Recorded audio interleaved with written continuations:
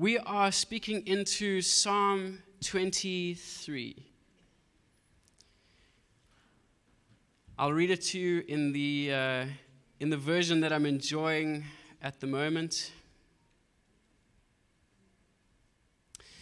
The New Living Translation. The Lord is my shepherd. I have all that I need. He lets me rest in green pastures. He leads me beside peaceful streams. He renews my strength. He guides me along right paths, bringing honor to his name. Even when I walk through the darkest valley, I will not be afraid for you are close behind me. Your rod and your staff protect and comfort me. You prepare a feast for me in the presence of my enemies, or a table for me in the presence of my enemies. You honor me by anointing my head with oil. My cup overflows with blessings. And our verse for today surely goodness and mercy, or your goodness and unfailing love will pursue me all the days of my life, and I will live in the house of the Lord forever. This is God's word.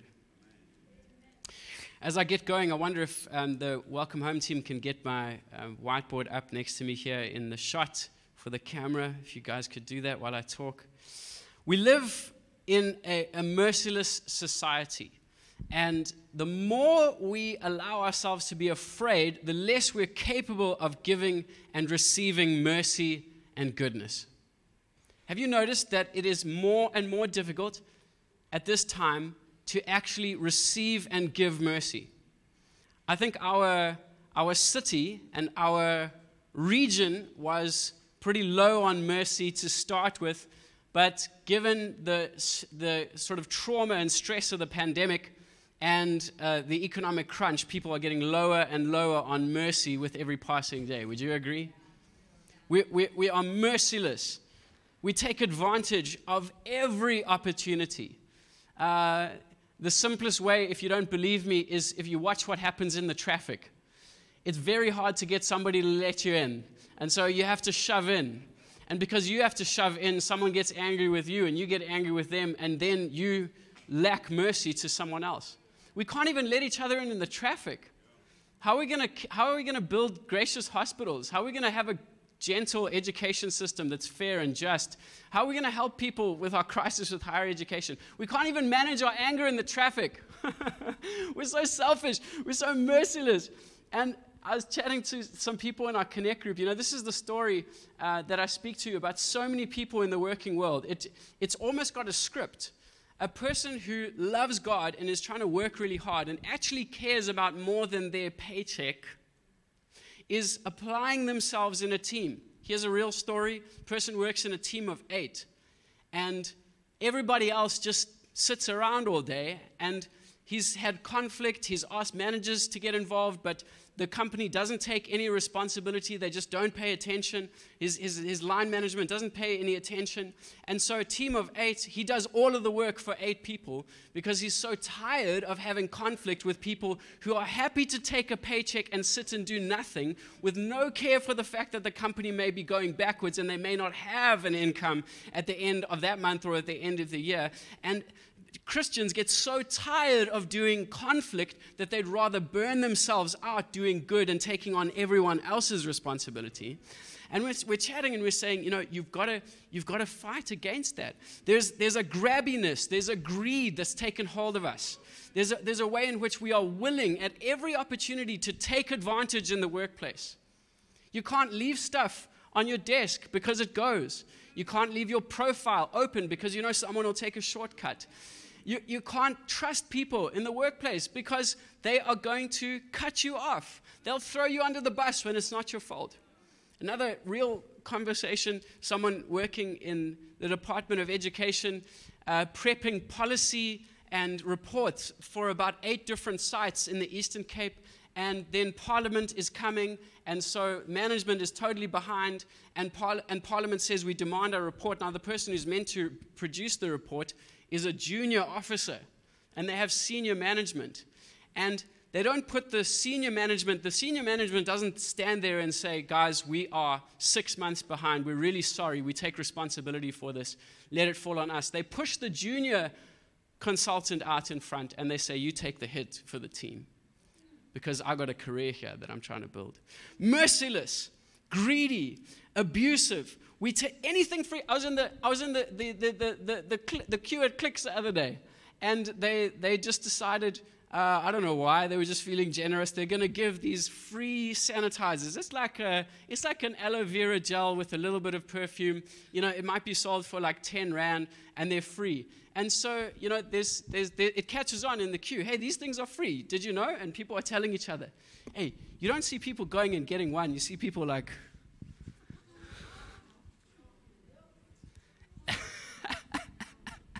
you can't trust us at buffets because we pile that plate so high. We're going to get every, if it's 150 Rand, we're going to take 290 Rands worth. Yeah, because people, and, and, any, and, and this is just a symptom of what's happening on the inside of us. You know, it, and it's so difficult. This is the, the theme for today. Um, it's so difficult for us to believe, just put my theme slide up, that goodness and mercy are still present in our world. Goodness and mercy, just put it up for us, please, will follow us all the days of our lives. Surely, David says, goodness and mercy will follow me all the days of my life, and I will dwell in the house of the Lord forever. We, we, we have so much fear and anxiety. This is my, my first point here when fear and anxiety take over our lives, they stop us from having any capacity to experience goodness and to usher in mercy in our world. Because we believe that we live in a world that is merciless and has no capacity for goodness, we ourselves can become afraid, and then we are merciless and lack goodness in our relationships with other people. I was chatting to, I chat to all my Bolt drivers. Um, Vicky and I share a car, so I take Bolt a lot.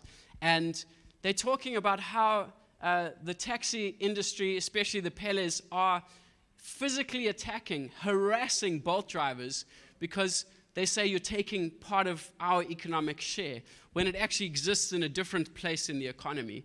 So, uh, you can't even trust, a, we were talking about this yesterday at the men's breakfast, you can't even trust the public transport system to get you to work on time it runs late. So you're late at work, you're getting letters of warning at work. Now you want to take a Bolt so that it actually gets you to work on time. But now the Bolt driver can't work because he's being shut down by the people who are, who are producing a lousy service in a dirty, unsafe car. And goodness cannot advance in our society because we are grabbing, we are desperate, we are every 10 Rand, every 6 Rand, every 3 Rand. There's not enough for us. And into this context, God wants to speak a word of healing to our souls, a word of healing to our broken society. It says, Children, my dear children, whether you know Jesus or not, you do not live in a world that is in lack, where you have to grab and fight and claw and take advantage of one another. You live in a world that is made by me, it is a world of abundance. And as a heavenly father, I want to pour out my blessing on creation. There is more than enough for you. Stop biting and grabbing one another. Your Goodness and mercy can follow you all the days of your life. You don't need to grab, you don't need to fight, you don't need to compete, you don't need to manipulate, you don't need to lie, you don't need to steal, you don't need to cut corners. You can simply trust in my blessing. You can trust in my covenant promise, and it's open to everyone. And I want this family to get bigger. I want more people. I want an overflowing blessing. This is David's cry. And he is not confident about it as he's saying it because he lives in a world just like you and me. He doesn't say, Goodness and mercy are with me. He's praying, he's going, I see the, the, the, brokenness of my world, but surely when I see my shepherd, goodness and mercy will follow me all the days of my life. Goodness and mercy will follow me all the days of my life.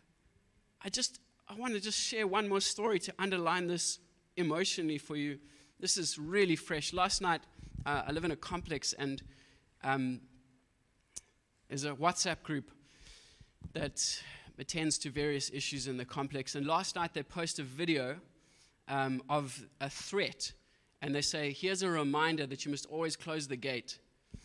So now we're all wondering what this threat is, and you push play on the CCTV camera video, and there's an old man. His shoes are broken, and the labels have fallen out the front, and it's raining, and it's cold. And he goes in the gate like this. He's got a limp. They took that man and they arrested him and they dragged him to the police station and they posted on the group, We've neutralized this threat in our community. How dare you? How dare you? Someone who needed a warm cup of soup and some clean clothes and a conversation is now posted with his picture, shamed by a wealthy community as the face of fear and threat. We have become so cruel. God, have mercy on us. We have become so cruel. We have become so lost in our sense of lack that we will abuse people, we will abuse the poor. And only the mercy and love of God can heal us of this need to abuse people. We do not have mercy and love are supernatural things. This is what the pandemic has taught us. Everybody thought that life actually made sense, that we could trust in politics, that we could trust in economic systems, that we could trust in education, that we could trust in policy, that we could trust in all the sophisticated structures and analysis that we are doing in our world. And the pandemic saw it all fall flat and it brought out the worst of human nature in people who are lost, and it brought out the best of human nature in people who are connected to the kingdom of God. And as I said already, it just showed that the darkness is getting darker and the light is getting brighter. And we are supposed to be learning that our world is empty and hopeless to have mercy or goodness without the presence of Jesus Christ. And God is not interested in solving, He's not interested in fixing the world right now. I'm not praying friends, that God would make it all go away, that we'd feel better. I'm praying, Lord, let it get as dark as it needs to get until we see that our only hope is in you, Jesus. That our only hope is in the kingdom of God. That, that without the kingdom of God, we have no saving story. Politics cannot save us. Policy cannot save us. Education cannot save us. Money cannot save us. Only Jesus and his kingdom can bring healing to the earth, can restore a way of life that is in order. And Jesus, I just want to say this to somebody who's disappointed with life right now. Jesus is not interested in making you happy. Can I say this to you as gently as I possibly can? Jesus is not interested in making you happy. He is not interested actually primarily in solving your problems.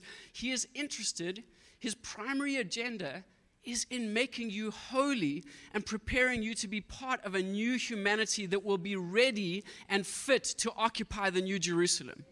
He is interested in making you part of a kingdom that will last forever. He is interested in forming the character of Christ in you goodness and mercy and joy in the presence of difficult circumstances and hope in the presence of pain and generosity in the presence of lack and forgiveness in the presence of attack and, and courage in the presence of fear. He wants to build that in you so that we will show that without Jesus there is no hope in our world and that this kingdom will advance and get bigger and bigger and bigger. And one day when Jesus Jesus comes back, this kingdom will come as a city out of heaven, a brand new way of life, and it will redeem and bring healing to the earth. He wants to prepare you for citizenship in that city. He doesn't want to make your life better in this one. He wants to prepare your life for citizen in that city, citizenship in that city. And and so this eternal perspective, it's supposed to help us. It's not an abdication of our responsibility here. it's saying that we are supposed to be learning how things really are. So I wanted to just show you this that this is your human life, and this is all of humanity. And God's goodness, God's goodness and His mercy, God's goodness and His mercy, they have ultimately been shown to us by Jesus dying for us on the cross. Uh, you may be praying all kinds of prayers God, fix this in my life. God, do this in my community. Jesus, please, in my neighborhood. Jesus, in my body, in, in, my, in my family. And actually, He's given you a sure and certain sign.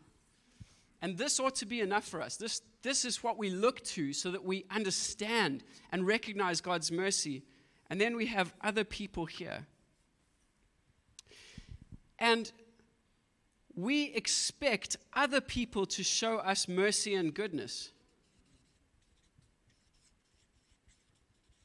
So that we believe in the goodness of God.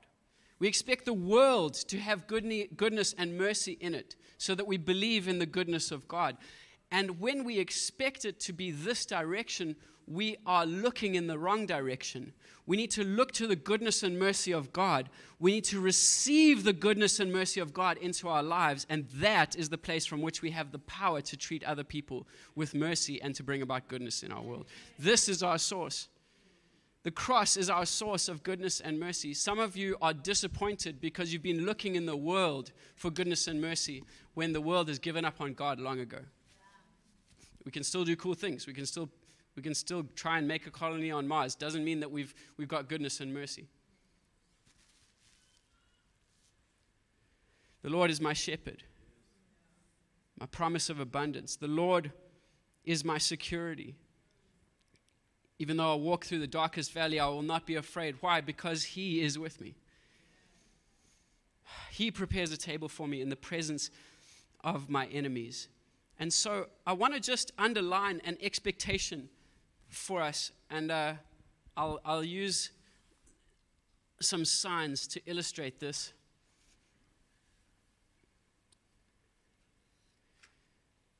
Um, Sis Nebs, please come and be goodness.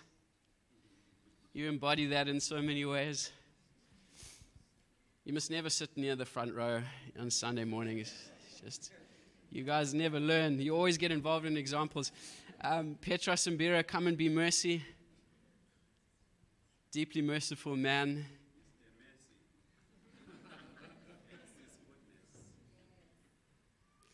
And uh, uh, come and be representative of any of us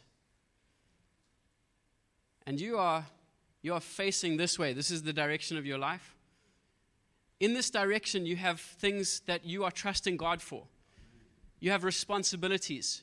You go to work in a certain environment, you live in a certain neighborhood, you have responsibilities towards a community. I hope you don't see yourself as an individual because you cannot live as an individual in the kingdom of God. I hope you see yourself as part of a community. There's other people, there's responsibilities in front of you. If you're not a Christian, I'm not talking to you today. This is how Christians see themselves, this is how disciples of Jesus see themselves. You are trusting God for some stuff in the future, and you're trying to live in a way that actually makes sense. We're in a world that's crazy. And, and so often we are looking this direction and we're saying, God, would you just give me a sign? Would you just go ahead of me so that goodness and mercy are in front of me? And you pray that prayer and you look up again and you don't see, you don't see goodness and mercy in front of you. David says it's not that way. Goodness and mercy come behind Dadvalile. Dadvalile, stand where you are. Goodness and mercy, stand behind him and strengthen him in the presence God. Stand behind him and strengthen him. The goodness and, uh, and, mercy of God have been shown to you even in the past through Jesus' resurrection, his cross, and his resurrection from the dead. Now, Datvalile accesses that goodness and mercy, and he steps forward into a world wow. that is without goodness and mercy. A world in which there is struggle, a world in which there is strife, a world which is cruel, a world which the, the writer John describes in the book of Revelation as a beast that has fangs and claws, a society that is so unjust and greedy and sophisticated that it tears apart human life. And he is not afraid of it because though he walks through the darkest valley, the Lord is with him. Because the shepherd is in front of him. Come, Wilson, come and be in front of him. Come and be in front of him. This is the shepherd that is in front of him. You don't have goodness and mercy in front of him, but you have a shepherd in front of you. And because the shepherd is in front of you, you go forward into the struggle, and goodness and mercy catch him up. Don't leave him behind. Now take another risk. Take another risk. Goodness and mercy will follow you all the days of your life.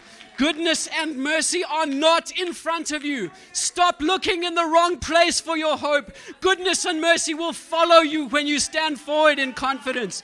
Stop looking to the world for hope. Stop looking in the darkness for light. Stand with confidence in the kingdom of God. Goodness and mercy will surely follow you all the days of your life. And wherever you are, you will dwell in the house of the Lord forever. We don't need a new economy, we need a shepherd. We don't need a new political system, we need a shepherd. We don't need more money, we need to return to the shepherd of our souls. We don't need more power, we need more mercy. We don't need more anger uh, on our, on our legs. We need to get down on our knees and ask for healing. We need a shepherd and we need his goodness and mercy. Some of you have massive disappointment issues this morning. You have massive trust issues this morning because you've been looking and saying, God, just give me a sign. Just give me a sign. Just show me that it's going to be okay. He's not going to put the goodness and mercy in front of you. The shepherd is already in front of you. He, he already. When, when David says, Though I walk through the valley of the shadow of death, I will fear no evil because you are close behind me. I want you to understand something. Jesus Christ, when he went to the cross, he was the great shepherd. And he got up on the cross and the powers of darkness that are trying to tear your life apart and trying to tear our world apart at the moment. The powers of darkness with claws and fangs that, that cause humanity to tear itself apart with evil from the inside. Jesus Christ walked into that valley. He was taken captive by those powers and dragged into the depths of hell. But you can't take the good shepherd into the depths of hell and expect that he will be overcome. He was raised from the dead and he came out of the other side side of the valley. And so you can walk through the valley because He's already come out the other side. Stop asking for a sign in the future.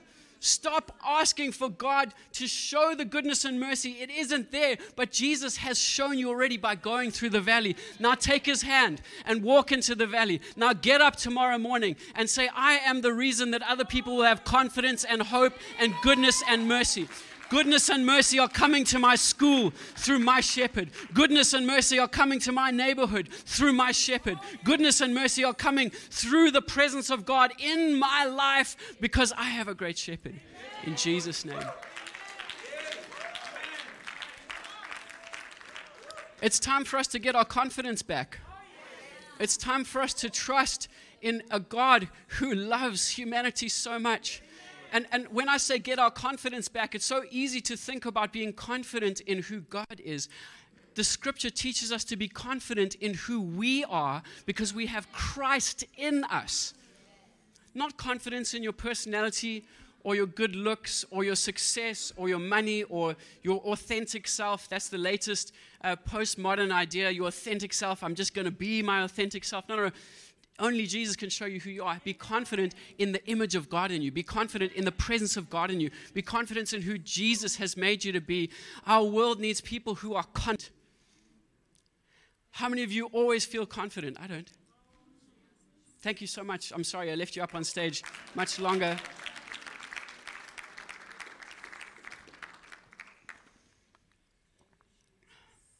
How many, how many of you always feel confident? You always feel confident. Do you know I don't trust people? I don't trust this macho, this macho hyper masculinity that walks around. I'm sorry if you go to gym. I, I, I love you. Jesus loves you dearly. But like, I'm just, I'm just using this as an example. You know, uh, there's some guys that I see at gym that they can't use their phone, their phone properly because their bicep is so big, so they have to put it on speakerphone. Yeah, yeah, yeah sure. Monday, Monday, yeah, okay. When you ask them where the bathroom is, they're like, it's over there. Might be over there. Um, I'm playing. If you go to the gym and you want to look after your body, please do that. But we have like this, this hyper masculinity, this hyper strength. And, and then we bring it into our faith lives.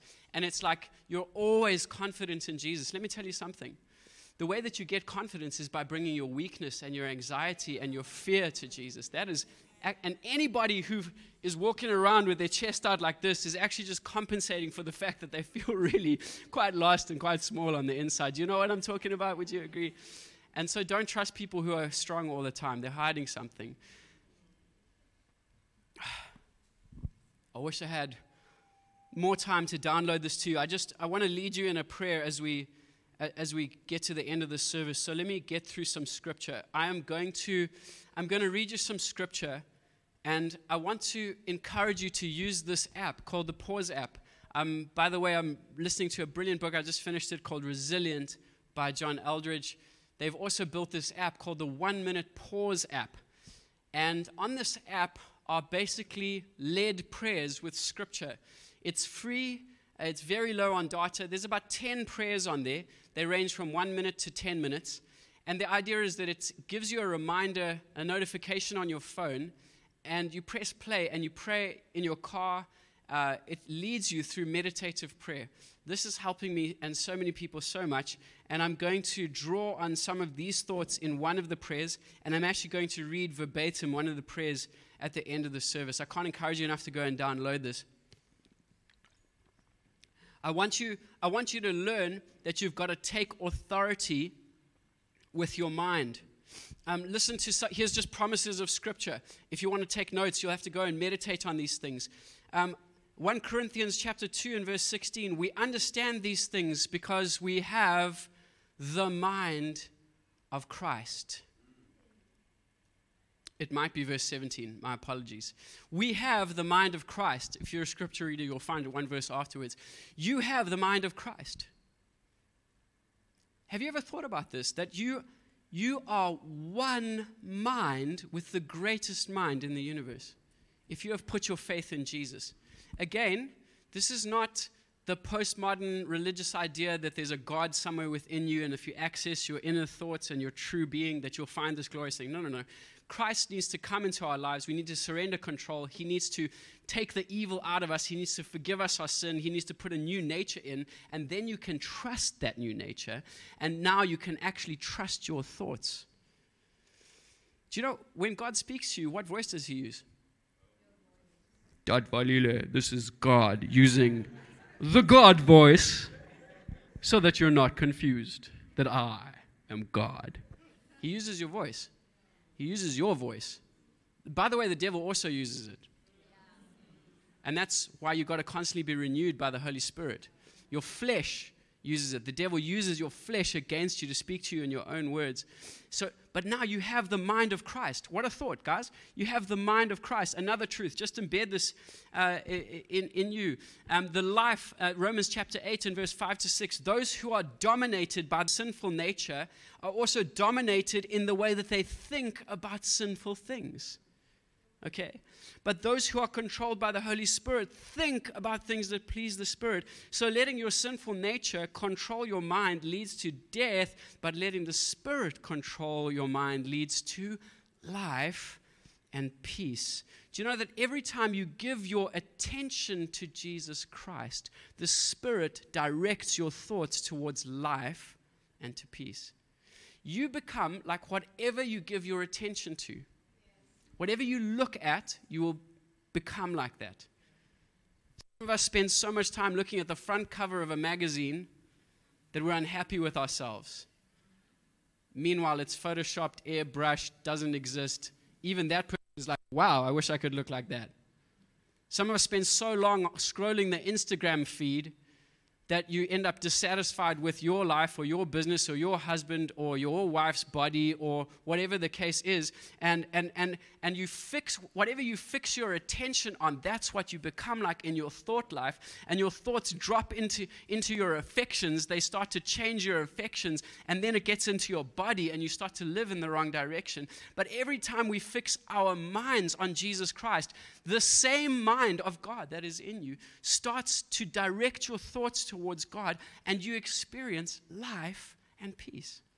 This is so this is so beautiful and healing in a gentle way because it means that in your place of anxiety and struggle, in the places where you feel weak on a daily basis, uh, every 10 minute basis, you don't need another YouTube video. You don't need another conference. You don't need a three week holiday in Cape Town. You need three minutes to let the mind of Christ come to life in you. You just need three minutes, five minutes, ten minutes to center your affections on Jesus Christ. And the miracle of the cross works in you. The Holy Spirit starts to well up His beautiful life, His healing life. The river of living water that's inside of you starts to satisfy your soul. And your whole body, soul, and spirit are redirected in the ways of God every time you pray. Isn't that beautiful? We, we, you see, we don't trust it because because we, we just have so much else going on in our mind. Now, here's the final scripture that I'm going to read and then we're going to pray. 2 Corinthians chapter 10 and verse 5. We demolish arguments and every pretension or high thing that sets itself up against the knowledge of God, and we take captive every thought and make it obedient to Jesus Christ. Now, I need uh, someone who has energy.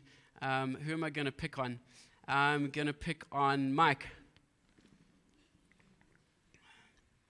Do you know what, Mike? You actually look like Jesus today, so. it's your, it's your just tall awesomeness. Okay. Jesus, come and stand here and just look kind and dignified. Now, I need I need some people to be disruptive elements who feels like there can be a disruptive element here? Um, Ishe, I'm sorry to make you close your. Is that your new Bible? Yes. He's been wanting this Bible for a long time. Praise God. Praise God for a young man who's saved up for a new Bible. He's been saving for that. And he's like, I want this.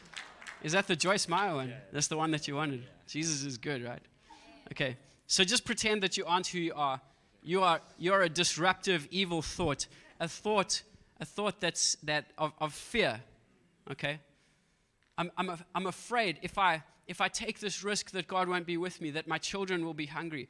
I'm afraid that if I forgive that person, I'll have no power over them. I'm afraid that if I don't manipulate and have this angle in the workplace, that I'm going to be crushed. So I better shrink back. I better not do anything with excellence. I better not put myself out there because I could get my head chopped off at any, at any moment.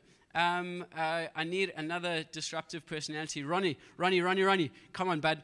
Uh, again, never be in any of my connect groups. You always just end up in, in church on a Sunday morning. Thanks, bro.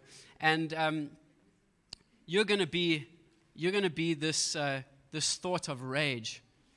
Uh, I'm, I'm, I'm, I'm angry and, and I want to show people because I'm, I'm deeply uh, I'm deeply wounded by something. I feel like something is drastically unfair. I feel like injustice has been done to me. And I want to prove myself. I want to defend myself.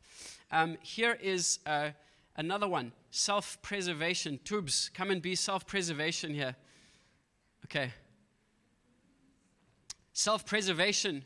You just think, you just think, if I just have enough for, for, for this week, for this day, for this hour, for me and my family, if I just play it safe, if I just do nothing wrong, then I should be all right. And what happens is that although your life is given to Jesus, have you noticed that your mind is still given to a whole lot of other things? And the battle for our souls exists in our minds, in the thoughts that we have. And you could add to this list. Now, I need some people who just look tough and scary. Jumbe, I think it's your beard. Uh, Kudzi, come on up here. Solly, it's a beard vibe. Come on. Mar- Mario, let's go.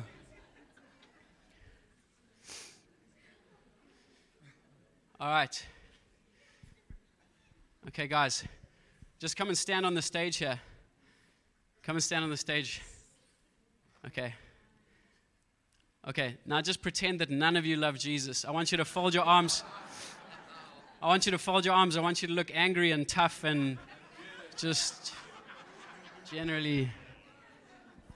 Is this not an intimidating beard? Does this beard not strike fear into the heart of the enemy? See, you have other forces available to you other than the forces that are at work in, in the law of your mind, captured by the flesh. Let's put that scripture up again, my last one um, that I just read. We take captive, everybody say, take captive. We take captive every thought and we make it obedient to Jesus Christ. Now, Jesus is on the throne of your life, but you have other stuff that's going on in your mind. Now, these things are meant to distract you, they're meant to disrupt you, they're meant to disrupt the life of Jesus. So, what I'm going to do, you guys just start running around. Just be like crazy. Just, just be like crazy. Just run around here on the stage. Just be disruptive. Go free. Yes, just be disruptive. That's it. You've got disruptive thoughts in your mind. Okay. All right. Now, now, Go and be disruptive over there. Just disrupt. Continue with your disruption. Disrupt, disrupt. Yeah, disruption. Yeah. Okay. Now, whenever there's disruption happening in your mind, you get quiet with the Holy Spirit because you have the mind of Christ. Because the same thoughts of Christ, it keeps disrupting, guys. Because the thoughts of Christ are within you. And now, Holy Spirit, come and take captive. I want you to grab them, take them captive. There can be a bit of a fight. Take them captive. Get it. Get fear. Get anxiety. Get them. And take them to the feet of Jesus. Take them to the feet of Jesus. Put them on their knees. Put them on their knees at the feet of Jesus. Fear, you go down. Anxiety, you go down. Depression, you go down. Disruption, you go down. Rage, you go down. Lust, you go down. Sexual confusion, you go down. No, I'm not going to have an affair. No, that, that woman is not better than my wife in Jesus' name. And you hold them down. Now, sometimes, sometimes they get up. Sometimes they get up. And, and, and, and rage just gets up. And you say, let him free, let him free, let him free. Now the others stay captive. Go, go free, go free. Okay, now take him captive again. You took him captive this morning and put him back down. Put him back down. And hold him there we take captive every thought, every 10 seconds of our thought life, and we make those thoughts obedient to Jesus Christ and to the person that He has made us to be. Every 10 seconds, every three minutes, every four days, every morning at five o'clock in the morning, you take captive every thought and you make it obedient to Jesus Christ. This is how I fight my battles. It may look like I'm surrounded, but I'm surrounded by you. Those who are with you are more than those who are against you. Fight the battle in your mind. The battle in your mind is the battle for our community. The battle in your mind is the battle for our children's future. The battle in your mind is the battle for our country. You can't take captive those forces out there. Stop ricochetting against them in your prayer meeting. Just start to take captive the thoughts of the enemy in your mind, and you will be better resourced and live in greater victory. And if you do that in community, then we're going to go after the kingdom of darkness. Amen. Stand to your feet. You guys can be seated. Thank you so much.